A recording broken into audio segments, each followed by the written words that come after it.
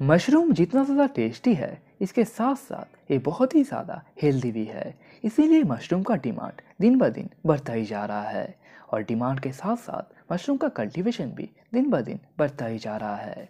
इसीलिए आज मैं इस वीडियो में आपके साथ शेयर करूँगा, आप किस तरीके से बटन मशरूम को घर पर ग्रो कर सकते हैं। वीडियो को पूरा ज़रूर देखिएगा।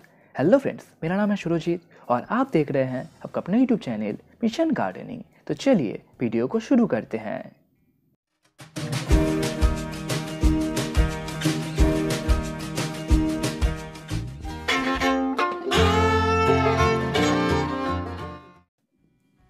मशरूम कल्टीवेशन करने के लिए सबसे पहले आपको चाहिए ये कंपोस्ट। ये जो कंपोस्ट है, आप चाहे इसे बना सकते हैं या फिर खरीद सकते हैं। इसे बनाने का जो प्रोसेस होता है, वो थोड़ा लंबा होता है। और वो मैं इस वीडियो में आपके साथ शेयर नहीं कर पाऊँगा। इसीलिए आप चाहे तो इसे खरीद सकते हैं। मैंने भी डिस्क्रिप्शन में इसका लिंक दिया है। आप चाहे तो वहाँ से खरीद सकते हैं। इसके बाद इस कंपोस्ट के साथ हम जो मशरूम का सीड यानी स्पॉन होता है, उसे अच्छी तरीके से मिक्स करेंगे।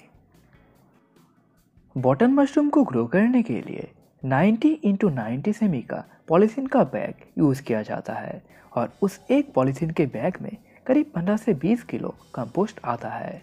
15 से 20 किलो कंपोस्ट में हम करीब डेढ़ से दो मुट्ठी मशरूम का जो स्पॉन है, यहाँ पर आप पिक्चर में देख ही सकते हैं। इसको अच्छी तरीके से मिक्स करते हैं। उसके बाद हम इसको उस पॉलीथीन के बैग में अच्छी तरीके से भर लेते हैं।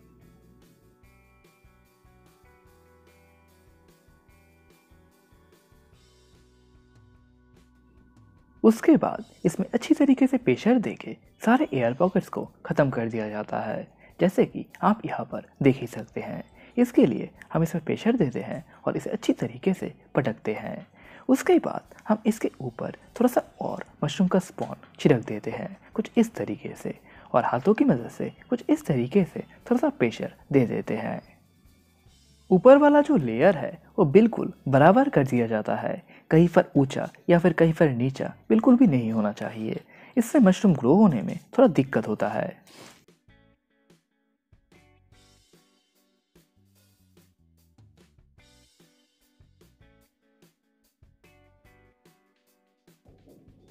उसके बाद हम पॉलीथीन की बैग की मदद से कुछ इस तरीके से पूरे कंपोस्ट को कवर कर देंगे। ये आप जितनी अच्छी तरीके से करेंगे, आपका मशरूम भी उतना ही जल्दी, उतना ही अच्छी तरीके से ग्रो करेगा। इसीलिए आप कोशिश कीजिए, ये पूरी तरीके से एयर टाइट हो। इसके बाद हम इस पॉलीथीन को एक डार्क जगह पर रख देंगे।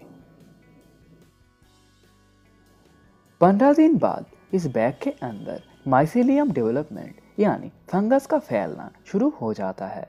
और आप बाहर से देख सकते हैं, कुछ इस तरीके का मकड़ी का जाले जैसा ये अंदर की तरफ़ फैल रहा है। इस स्टेज में हम इस बैग को खोल देते हैं और इसके ऊपर केसिंग करते हैं। केसिंग करना, यानी कंपोस्ट के ऊपर एक दूसरे मिट्टी का लेयर देना। इसके लिए आप कोकोपीट या फिर फार्मी कंपोस्ट या फिर एक साल पुराना काउडन कंपोस्ट जो भी आपके पास अवेलेबल हो, उसका इस्तेमाल कर सकते हैं। इसके लिए आप केसिंग मटेरियल, यहाँ पर मैंने कोकोपीट लिया है इसको मैं कुछ इस तरीके से इसके ऊपर हल्के हाथों से छिड़क दूँगा और करीब एक एक इंच का लेयर दे दूँगा। केसिंग करने के बाद हम इसके ऊपर भरपूर पानी का स्प्रे करेंगे और पूरे कंपोस्ट को गीला कर देंगे। केसिंग करने के बाद का स्टेज यहाँ पर आप देख सकते हैं। इस स्टेज को कहते हैं पिन हेड स्टेज। इस स्टेज पर मशरूम ग्रो होना शुरू हो जाता है। इस समय हम मशरूम के बैग्स में फ्रेश एयर देते हैं, यानी जिस जगह पर हम इसे ग्रो करते हैं, उसके सारे दरवाजे खोल देते हैं और बाहर की हवा को अंदर आने देते हैं। इसके लिए कई बार एग्जॉस्ट फ़ैन का भी इस्तेमाल किया जाता है और फ्रेश एयर लगने से मशरूम बहुत ही जल्दी बड़े साइज़ के होने लगते हैं और कुछ ही दिन में हार्वेस्टिंग के भी काबिल हो जाते हैं। मशरूम को आप चार से पाँच बार हार्वेस्ट कर सकते हैं। यहाँ पर आप देख ही सकते हैं कितनी अच्छी तरीके से मशरूम ग्रो हुए हैं।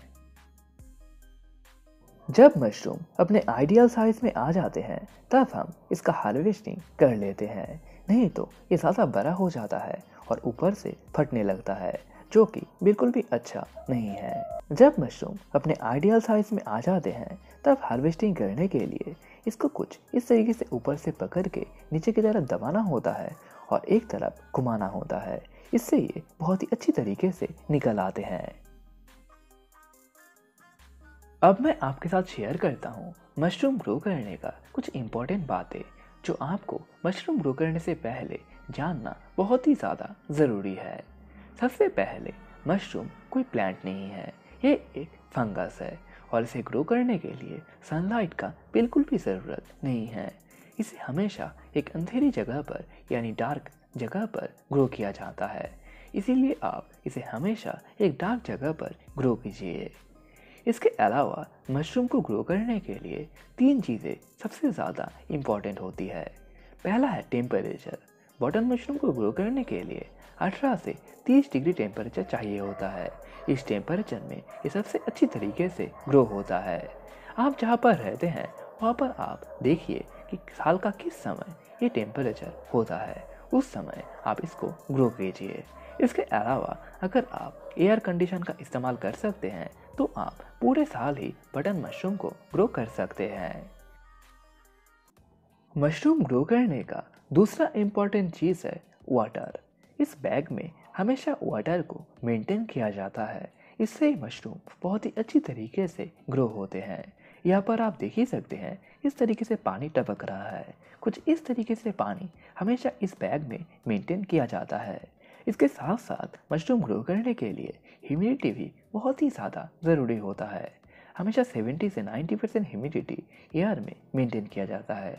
तभी मशरूम सबसे अच्छी तरीके से ग्रो करते हैं। यहाँ पर आप इस मीटर में देख ही सकते हैं, इस रूम का टेम्परेचर है 18.7 डिग्री सी और ह्यूमिडिटी है 77 परसेंट इसको हमेशा मेंटेन किया जाता है और इसी वजह से यहाँ पर मशरूम बहुत ही अच्छी तरीके से ग्रो हो रहे हैं। मशरूम ग्रो करने का तीसरा इंपॉर्टेंट चीज़ है एयर इसके लिए एग्जॉस्ट फ़ैन का इस्तेमाल किया जाता है और जब भी फ्रेश एयर का ज़रूरत होता है, तब एग्जॉस्ट फ़ैन को चलाया दिया जाता है और बाहर से फ्रेश एयर अंदर दिया जाता है। यही आज का वीडियो, मशरूम कल्टीवेशन के बारे में। जब मैं अपने घर पर इसे ग्रो करूँगा, तब मैं और भी डिटेल के साथ, आप लोगों के साथ इस प्रोसेस को शेयर करूँगा। तब तक के लिए आप चैनल को सब्सक्राइब करके बेल नोटिफिकेशन ऑन कर लीजिए। इससे जब भी मैं नया वीडियो अपलोड करूँगा, आपको नोटिफिकेशन मिल जाएगा। और वीडियो अच्छा लगे वीडियो को लाइक और अपने दोस्तों के साथ शेयर ज़रूर कीजिएगा। Thank you happy gardening